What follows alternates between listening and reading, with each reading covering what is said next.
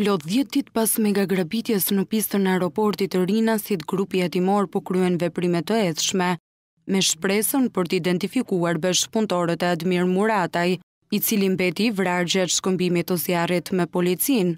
Pas analizimit të pamjeve filmike, të dhënave të siguruara në mënyrë operative apo dhe mënyrës si ka vepruar grupi, Policia dhe prokurorët e krimeve të rënda kanë futur në rrethin e të dyshuarve një prej njerëzve më të afërt të Admir Muratajt.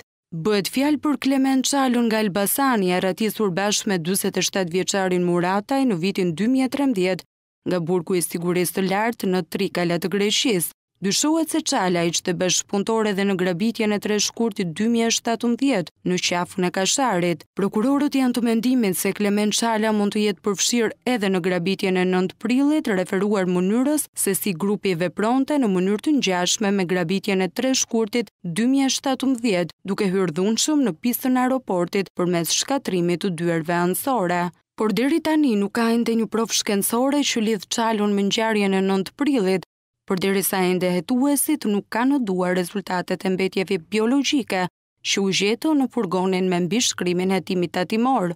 Aleks Pepa, i shumëkërkuari për grabitjen brenda aeroportit të Rinasit në qershor të vitit dy mijë e gjashtëmbëdhjetë, është një tjetër person nën shënjestrën e hetuesve.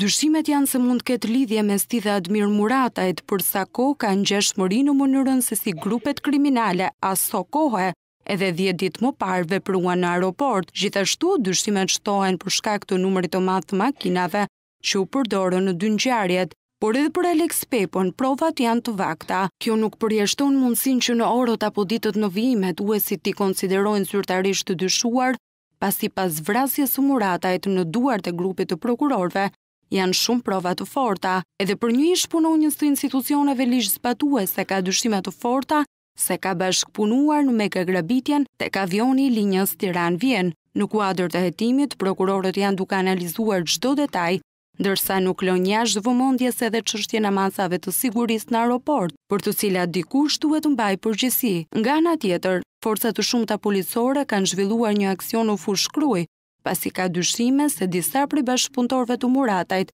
mund të kenë baza në këtë zonë. Hetuesit janë të bindur se në përbërje të grupit nuk kanë qenë më shumë se dhjetë persona.